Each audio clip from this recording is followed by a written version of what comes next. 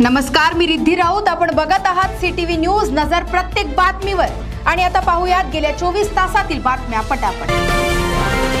चंद्रपूर शहर महानगरपालिका नेहमीच वादात राहण्याच्या नादात दिसत असते. आता या कोरोनाच्या तिसऱ्या लाटेच्या पार्श्वभूमीवर गोव्यात अभ्यास दौऱ्याला घेऊन नवी चर्चा सुरू झाली आहे. सहा आणि सात जानेवारीला हा महिला आणि बाल कल्याण समितीच्या दौऱ्याचा बेत आहे.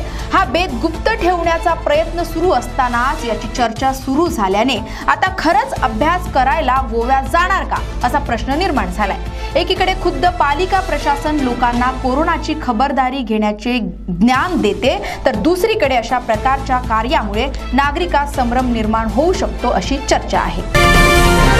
चंद्रपुरात सलग दुसऱ्या दिवशीही कोरोना रुग्णात वाढ झाल्याचं दिसत असून चंद्रपूर शहर महानगरपालिका हद्दीत सोमवारी सात रुग्णानंतर मंगळवारी पुन्हा आठ रुग्ण आढळली. जिल्ह्यात एकाच दिवशी बारा रुग्ण मिळाल्याने प्रशासनाची चिंता वाढली आहे. दरम्यान कोरोनापेक्षा त्याच्या नव्या व्हेरियंट ओमिक्रोनचे नाव आता पुढे आल्याने ग्रामीण भागात सरळ त्याचेच रुग्ण मिळाल्याची अफवा सुद्धा पसरत आहे. प्रशासनाने कुठल्याही अफवांवर विश्वास न ठेवता चाचणी करावी आणि योग्य खबरदारी घेत नियमांचे पालन करावे असे आवाहन सुद्धा केले आहे. उल्लेखनीय म्हणजे राज्यात अठरा हजार चारशे सहासष्ट इतके रुग्ण झाले असून ओमिक्रोनचा आकडा सहाशे त्रेपन्न वर पोहोचला आहे.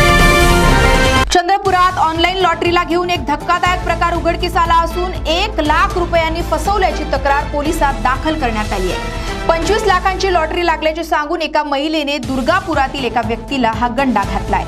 प्रवीण पुणकर असे फसवणूक झालेल्या व्यक्तीचे नाव असून श्रुती सरन नामक महिलेने त्यांना फोनवर आमिष दाखवून ही फसवणूक केल्याची तक्रारीत म्हटले आहे.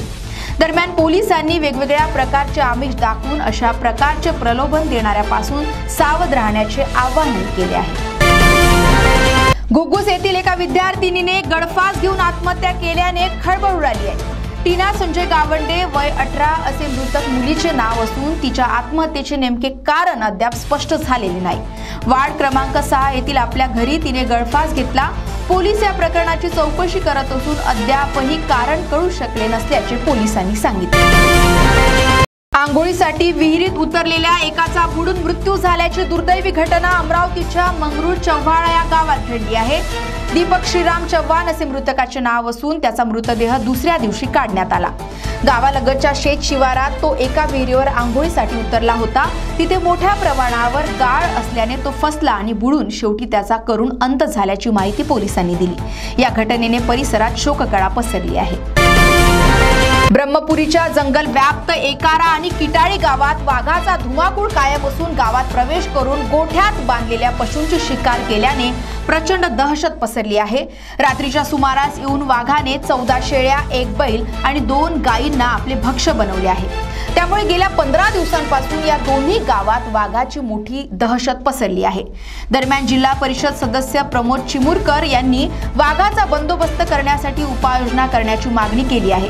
त्यांनी प्रत्यक्ष नागरिकांशी बोलून यावर चर्चा सुद्धा केल्याचं सांगण्यात येत. भद्रावतीमध्ये मांगली गावात शेतात विजेचा प्रवाह सोडून तीन चितळची शिकार करण्यात आली होती. या प्रकरणी काल आणखी चार आरोपींना अटक करण्यात आली आहे. सुरुवातीला शेत मालक कवडू बोंडे अटकेत होता. त्याची कसून चौकशी केल्यावर गावातीलच आणखी चार जणांना ताब्यात घेऊन चौकशी सुरू आहे. राज्याचे नगर विकास मंत्री आणि गडचिरोलीचे संपर्क मंत्री एकनाथ शिंदे यांना कोरोनाची लागण झाली असून त्यांना विलगीकरण कक्षात ठेवण्यात आले डॉक्टरांच्या देखरेखीखाली त्यांच्यावर उपचार सुरू असून मंगळवारी त्यांचा अहवाल सकारात्मक आल्याची माहिती मिळाली आहे. आपली प्रकृती स्थिर असल्याचा दावा त्यांनी केला आहे. राज्य सरकारने अमरावती येथील लघु उद्योग विकास महामंडळाचे कार्यालय कायमचे बंद करण्याचा निर्णय घेतला आहे. याविरुद्ध सात जानेवारीला निषेध आंदोलन करण्यात येणार असल्याची माहिती माजी आमदार वामनराव चटप यांनी दिली आहे. विदर्भ राज्य आंदोलन समितीच्या माध्यमातून हा निषेध नोंदवला जाणार आहे. विदर्भावर सातत्याने अन्याय होत असून अमरावतीचे कार्यालय बंद करण्याचा निर्णय वैदर्भियांच्या भावना दुखवणारा असल्याचं चटप यांनी म्हटलं आहे. उल्लेखनीय म्हणजे चंद्रपुरात सुद्धा हे कार्यालय नाही. राजकीय पोळी शेकण्यासाठी राजू झोडे आदिवासी आणि सामान्य नागरिकांना वनविभागाविरुद्ध भडकावतात आणि वनविभागाच्या कामात अडथळा निर्माण करतात. त्यामुळे झोडेवर गुन्हा दाखल करण्याची मागणी फॉरेस्ट रेंजर्स असोसिएशनने केली आहे. काल एका पत्रकार परिषदेत ही मागणी करत काम बंद आंदोलन करण्याचा इशारा सुद्धा देण्यात आल्याने एकच खळबळ उडाली होती. असोसिएशनचे अध्यक्ष बी के तुपे यांनी या पत्र परिषदेत अनेक खुलासे केले. क्षेत्रीय कर्मचाऱ्यांना झोडे यांनी मारण्याची धमकी दिल्याचा आरोपही त्यांनी केला. तर या होत्या आजच्या बातम्या पटापट. लवकरच भेटूया पुन्हा काही नव्या बातम्यांसह. तोपर्यंत अशाच बातम्यांचे अपडेट घेण्यासाठी बघत राहा. विदर्भातील अग्रणी सी टी व्ही न्यूज नजर प्रत्येक बातमीवर. नमस्कार.